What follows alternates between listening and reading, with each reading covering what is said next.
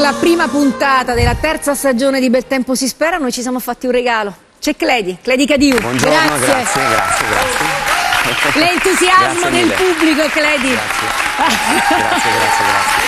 Fa capire che tu sei uno di quegli uomini che hanno saputo seminare stanno raccogliendo davvero non soltanto dal punto di vista professionale, ma credi, tu sei diventato papà di Lea da pochi mesi. Da sì, da circa nove mesi. Nove mesi, com'è questa pupetta bellissima tra l'altro? Eh, è eh. molto bella, assomiglia alla mamma, meglio. Charlotte. E sono felice, siamo felici, stiamo vivendo dei momenti molto, eh, molto belli. Che papà sei, Cledi? Sei uno di quelli che cambiano i pannolini, quelli presenti, quelli che delegano la mamma, visto che poi siete due artisti tutti e due. Glielo devi chiedere alla mamma questo. Io sì, penso di fare il meglio, insomma, non, eh, ovviamente è lei che, che sta di più certo. con, con Lea. Sì, sì, anche il pannolino lo so cambiare. Ho imparato. E lo fai? E lo faccio. Sì, perché mi piace. Che cosa speri per tua figlia? Intanto guardiamo, sfogliamo con voi l'album fotografico, ah. sono delle foto meravigliose, meravigliose. No, questo è il battesimo che abbiamo fatto eh. quest'anno, quest'agosto, quest'estate. E, Meraviglioso. Beh, tu sei uno spero? di quelli che Adesso sperano troppo... che, che, tua figlia farà, seguirà le tue orme, le orme poi anche di mamma, insomma un, una carriera artistica o Oddio, altro? non lo so, per come è messo oggi lo spettacolo e eh. la danza anche, non Spero di no, speriamo poi che, che lei scelga quello che gli quello viene che meglio, vuole. quello che gli piace soprattutto, senza la nostra spinta, insomma, ecco. Tu sei uno che è riuscito a fare nella vita quello che voleva fare fin da piccolissimo, Cledi. Eh, tra un po' ritorneremo sui tuoi passi, torneremo anche alla tua storia, ma permettici di fare un omaggio perché Bene. non dico pochissimi, insomma tutti sanno chi sei, ma le emozioni che regali, noi le abbiamo racchiuse in questa clip, guardate Bene. qui. Grazie. I got guns in my head and they won't go Spirits in my head and they won't go I got guns in my head and they won't go Spirits in my head and they won't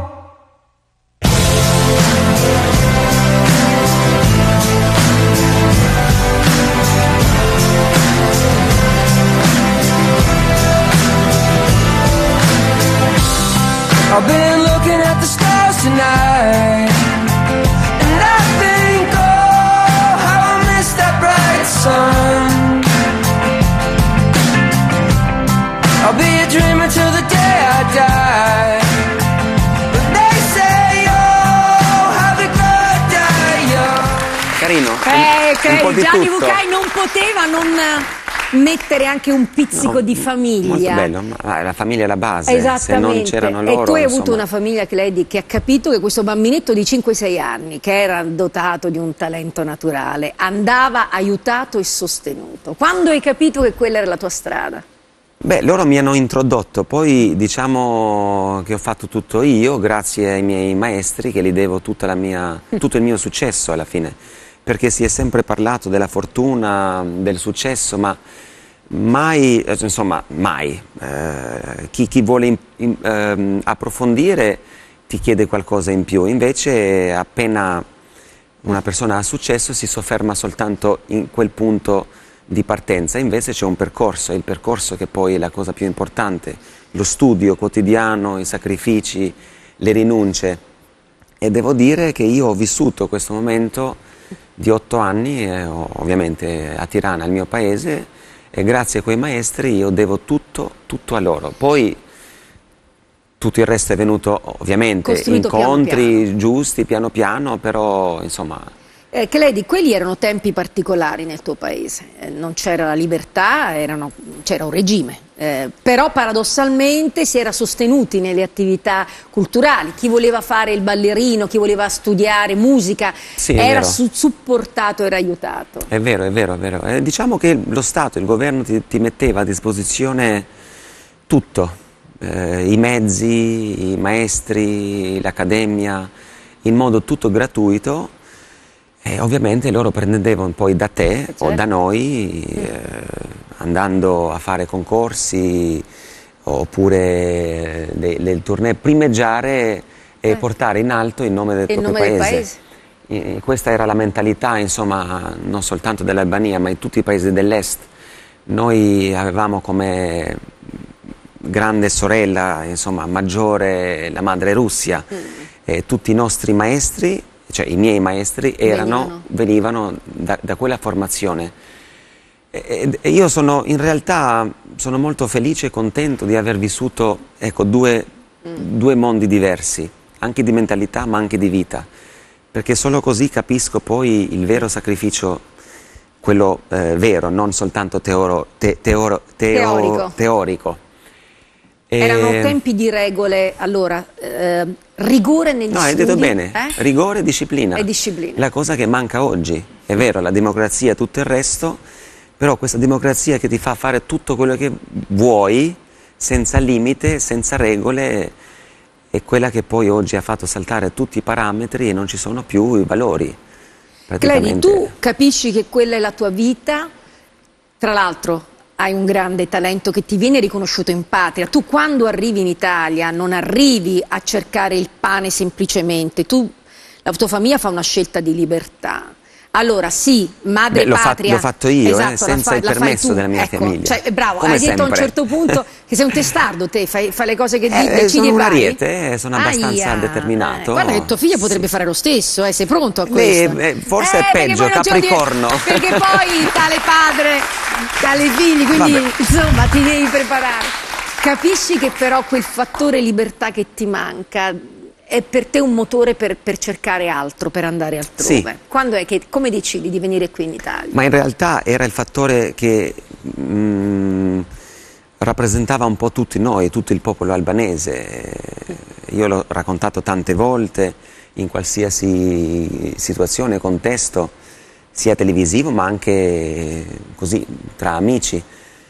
Ma semplicemente il fattore di guardare, di vedere e di non toccare con la mano una realtà che hai sempre visto come una cosa bellissima e decidi, quando ti si viene dato la possibilità, di assaggiare realmente questa, questa realtà che poi, eh, che poi è diversa oppure è cambiata oppure è finta, questo bisogna sempre provare, per questo che dico ai ragazzi tentate sempre perché bisogna provare l'esperienza eh, di sulle... cercare altrove. Sì, assolutamente. Ed è quello che hai trovato, Clady, è quello che avevi immaginato? Ti ha deluso eh, qualcosa di questa realtà?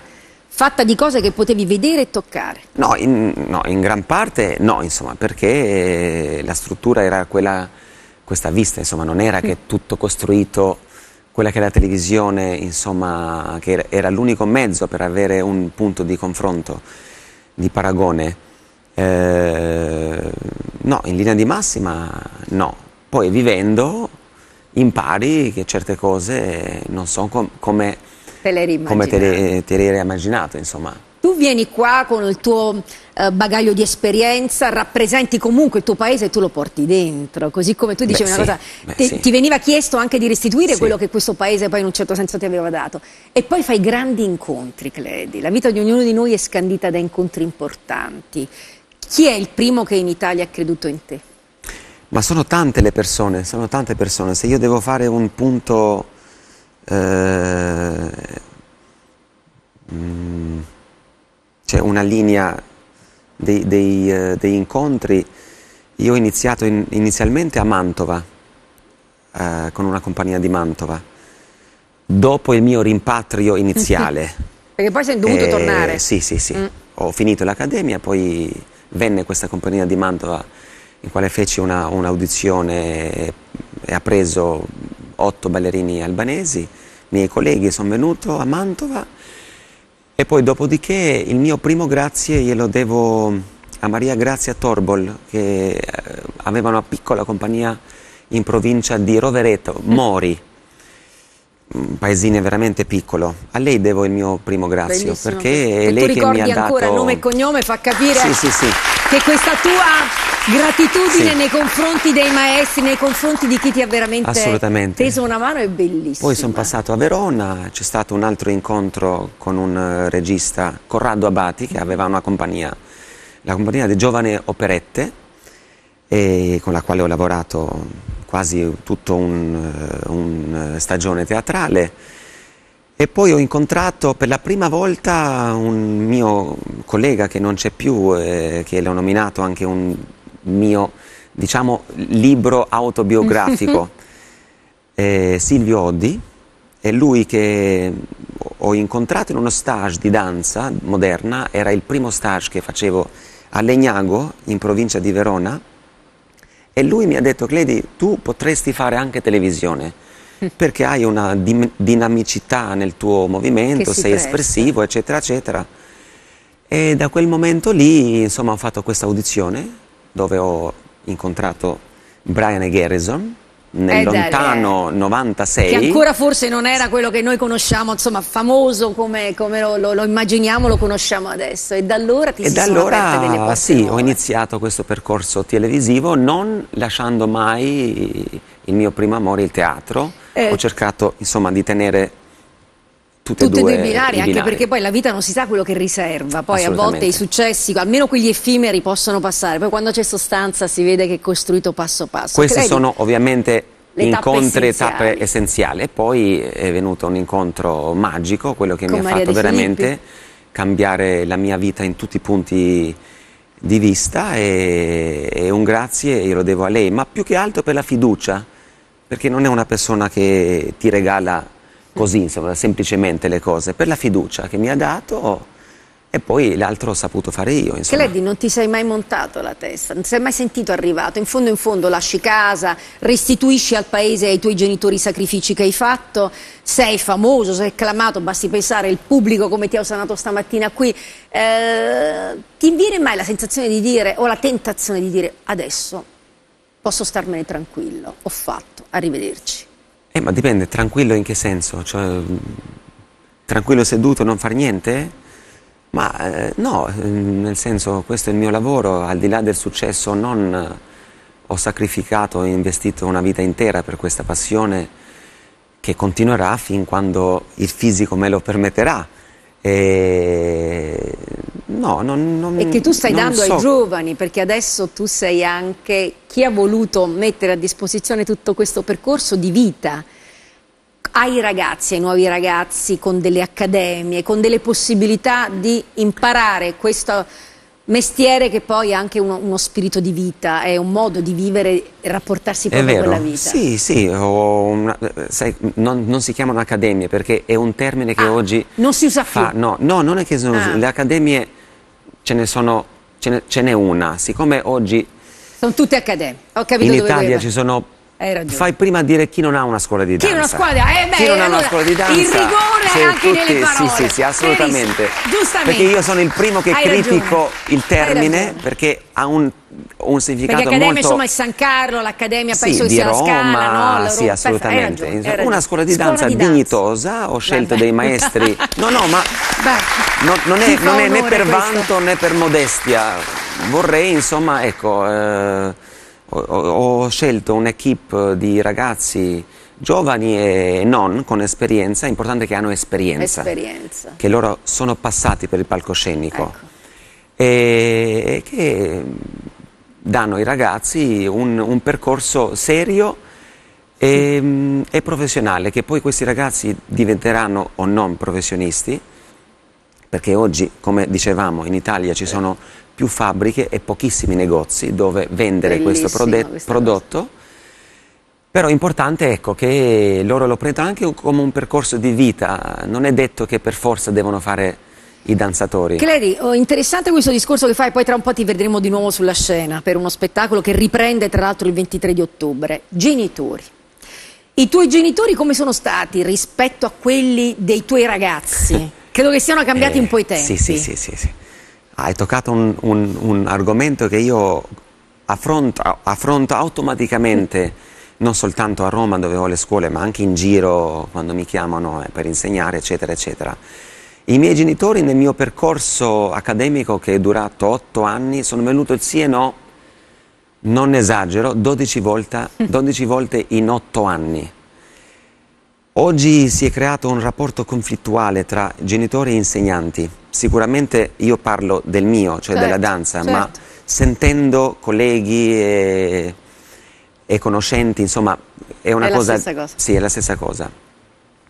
Che oggi i, i- i genitori si sentano di avere le competenze più degli insegnanti stessi. Deve essere un Perché vizio proprio diffuso vizio. perché lo fanno a scuola e lo E fanno succede, anche con la succede anche per- proprio perché c'è questo, questo, eh, rapporto conflittuale anche tra insegnanti stessi mia. delle scuole che pur di avere e tenere i propri allievi nelle scuole non si eh, insegna più quel rigore che la danza ti... Cioè, in teoria sono tutti bravi, però con la pratica, piuttosto di tenere gli allievi, perché poi c'è l'altra scuola di- accanto che ti ruba, Certo, eh, certo, gli certo. allievi, e vanno di moda questi complimenti a go-go, gratuiti, sei bravissima, sei bellissima, diventerai una star, i genitori si, si Esaltano. eccitano, si esaltano di questa cosa. E insomma, non c'è più... Beh, questa è una c'è più tiratina equilibrio.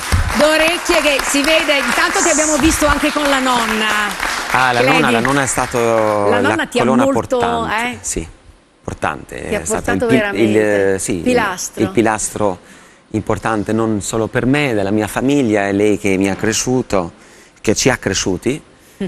e, è lei che ha fatto tutto praticamente, tutto. Io questa foto ce l'ho anche a casa, rimarrà sempre lì. Insomma, ecco, la persona di cui sono... Ma chi poi? Cioè, chi Eh, non è certo. legato alle nonne, ai nonni? L'Albania è molto più vicina all'Italia in questo di quanto non si creda nel vero senso della No, è parola, vero, la- è vero, il è senso vero. degli affetti familiari, il senso delle radici che non va perso. Sta di fatto che con quelle radici così salde tu stai arrivando, sei arrivato dove sei arrivato, ritorni a proporre uno spettacolo straordinario che ci porta anche, Beh. perché no, nel paese di Papa Francesco, anche se è una bella vero, è rivisitazione vero, il contemporanea, tango, sì, sì, giusto? sì. Guardate qui, Vero.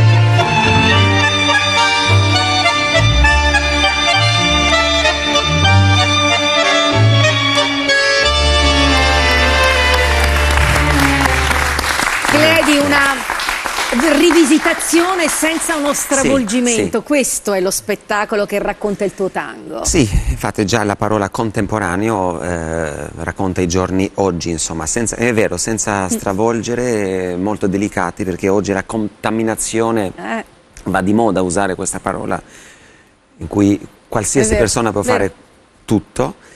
Eh, beh, già la parola tango evoca passione, corteggiamento, insomma, sensualità.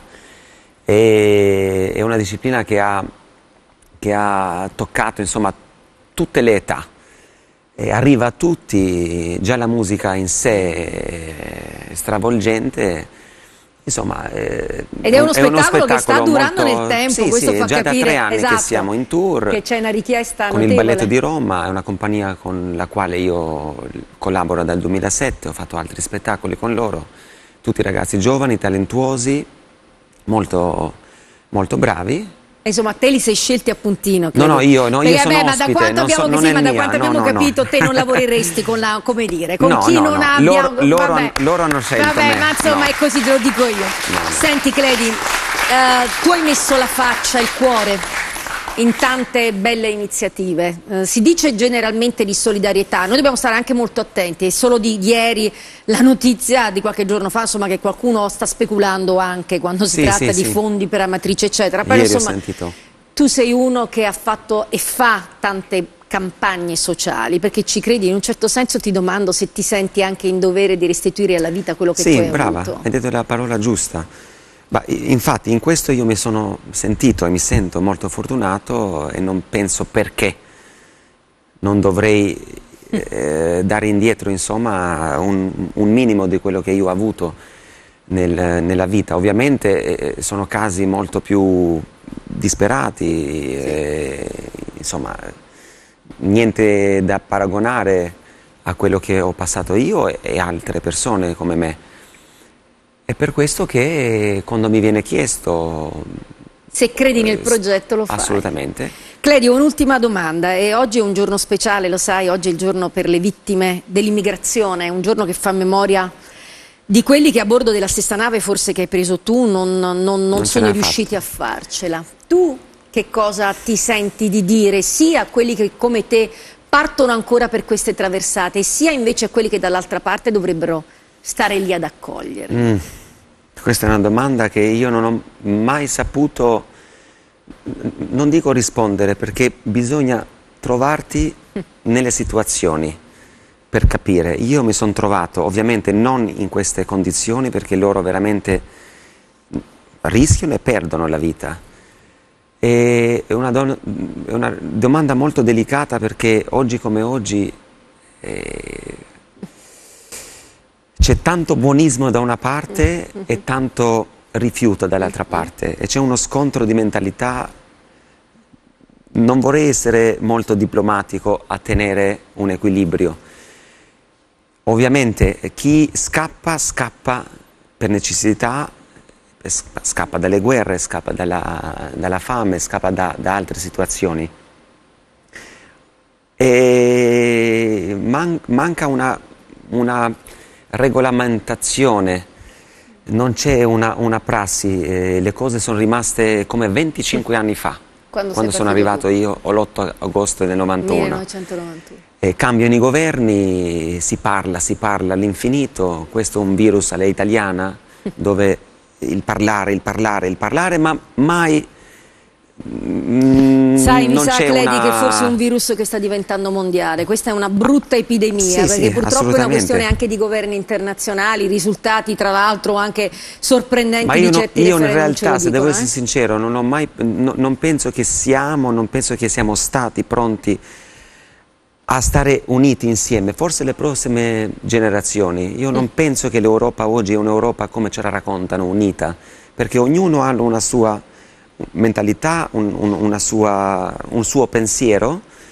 Già il fatto che da una città all'altra non, non si convive in santa pace, figurati tra tanti paesi E questo ci fa veramente molto dispiacere, Cledi, ma forse, forse sei molto vicino alla realtà. Io ti dico che se qualcuno non ti avesse accolto, forse noi non ti avremmo conosciuto, Cledi. Ah, no, e vabbè, quindi questo è allora molto esagerato, eh, grazie. forse forse questo grazie, bisogna riflettere grazie. quando pensiamo sempre Grazie a costruire mille. delle barriere. Grazie, di Grazie, cuore. grazie a voi. Auguri al Grazie. nostro Cledi Cadiu. Grazie, grazie, grazie. Noi torniamo dopo la pubblicità a parlare di progetti di speranza perché ci sono le pietre da ricostruire nei luoghi del terremoto, ma c'è anche una tradizione da recuperare, da non far morire.